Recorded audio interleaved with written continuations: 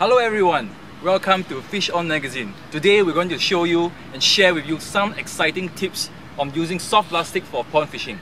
And here with me today is Nigel. Hi, hi everyone. Alright Nigel, can you share with our viewers uh, what kind of soft plastics are normally used for pond fishing? Okay, most certainly. I think most guys would be familiar with a pre-rigged soft plastic, which a lot of people actually use in the pond. This is our Storm ripping minnow, uh, which you have seen. And uh, you, what you do is just uh, put on a snap and away you go. You can fish straight. But these days, a lot of people are looking for something that's a bit more different that they can have control over. So different style of rigging, uh, different actions, and uh, different forms of fishing. So here are some of the basic ones uh, that we uh, have. Uh, a very popular one is a curl tail grub. And uh, the other one, uh, which I have here as well, is a paddle tail minnow, which uh, is quite uh, commonly used. And uh, something a bit more interesting and a bit different is a creature bait, or a craw if you like. Wow, that sounds really interesting. Um, how about uh, you share with the viewers how do you normally rig up all these soft plastics? Okay, sure. Uh, for the first one, which is a curl tail grub, uh, we normally just rig it with a standard jig head. Uh, this is our VMC Barbarian uh, ball jig head, and we just rig it straight up like that. Okay, the other one, uh, which is similar, is a paddle tail minnow or paddle tail shad, which we rig on the same jig head again. And uh, the other one that's a bit more interesting is the creature bait, which we actually rig with a worm hook. And uh, this actually gives it a weedless uh, capability, so you can fish it into heavy cover, uh, into structure and not get snagged up. Uh, the way we rig this up is we have a sinker which we slide down on our leader and so this is like a Texas rig. Okay. All this sounds so exciting. I can't wait to cast the first soft plastic into the pond. Shall we go fishing, Nigel? Yeah, let's do it man. Right.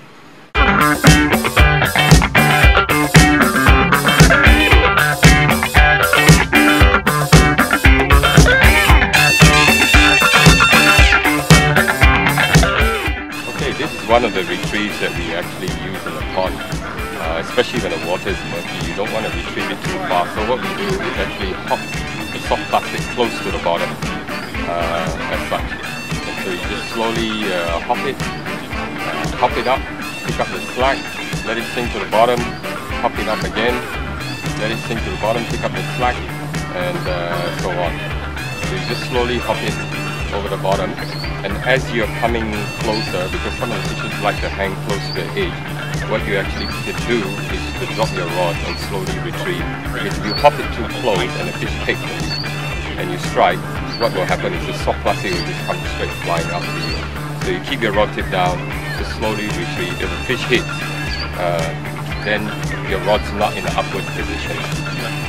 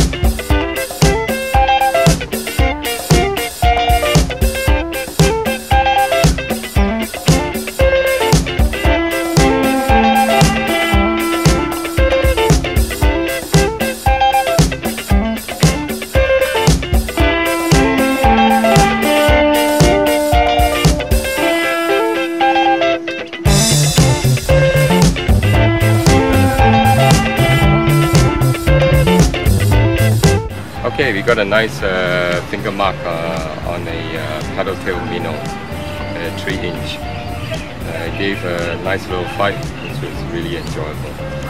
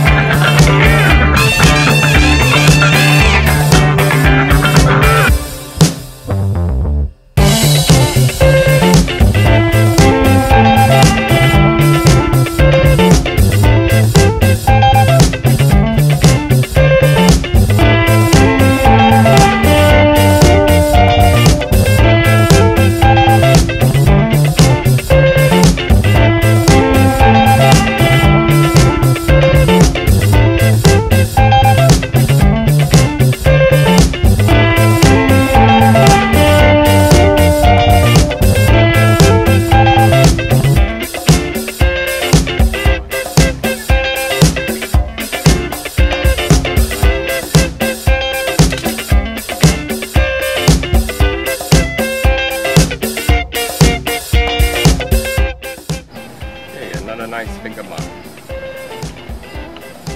Caught on a storm Pro Shad in the gold and black. It's one of my favorite colors here in the pond.